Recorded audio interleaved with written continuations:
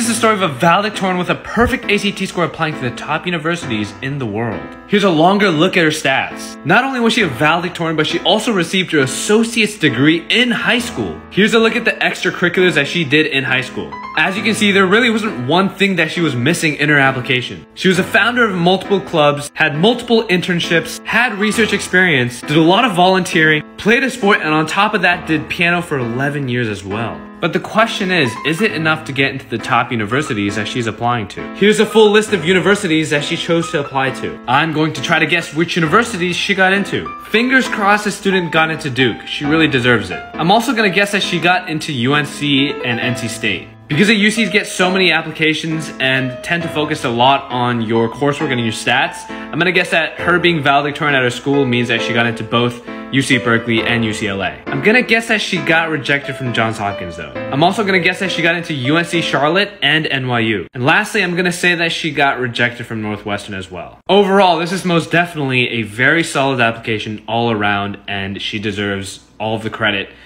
and she deserves to get into her dream school Duke. But we're just gonna have to find out if she got in or not in part two.